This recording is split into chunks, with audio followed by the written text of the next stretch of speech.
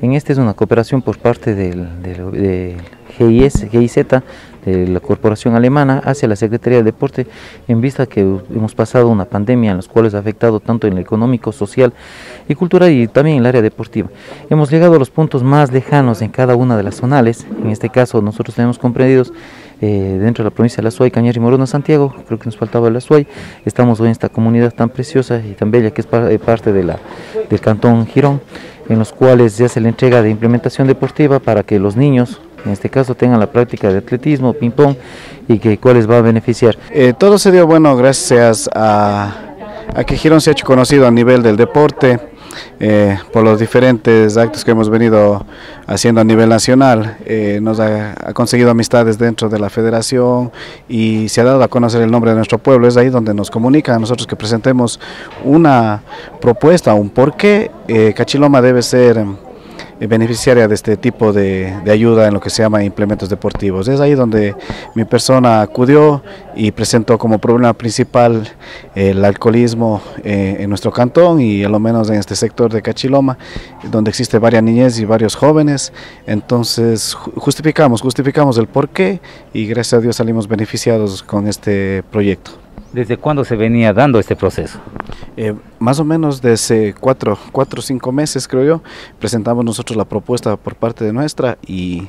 eh, al pasar de dos meses nos dijeron que salimos beneficiados, ya sabíamos que, que, íbamos a ser partidarios de este proyecto. Y muy emocionados en esta mañana que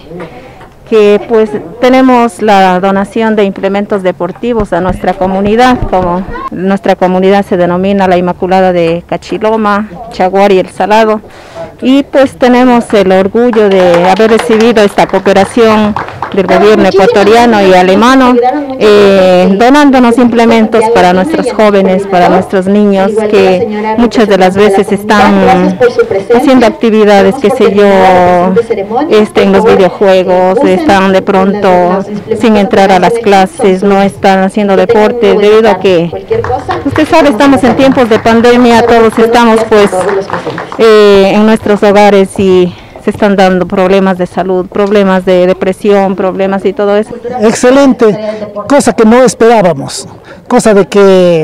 eh, es una sorpresa para la comunidad. Eh, ¿Estos van a dar algún tipo de seguimiento para ver que se cumpla con, con, el objetivo? Sí, se firma un acta de entrega y recepción en conjunto con la representante de cada una de las comunidades para que hagan el buen uso de los implementos deportivos para la práctica en este sector. La señora Berta, presidenta de la comunidad, firmó un documento de entrega de 70 artículos deportivos entre conos, vallas, escaleras, una mesa de ping pong, al igual que, que las raquetas, tenemos escaleras eh, redondas también eh, y balones de peso, balones medicinales. Dándoles buen uso sacaríamos provecho y sería beneficioso para la comunidad. Eh, uno como dirigente deportivo creo yo eh, doliera mucho ver que este tipo de, de, materiales vaya a una bodega o vaya a estar ahí eh, guardado sin uso, por lo cual yo le supe manifestar a la, a la señora presidenta que como parte de la comunidad también eh, me comprometo, me comprometo a darle uso a, este, a estos materiales aquí con los niños, con los jóvenes, tratar de coordinar una vez a la semana, una vez cada 15 días.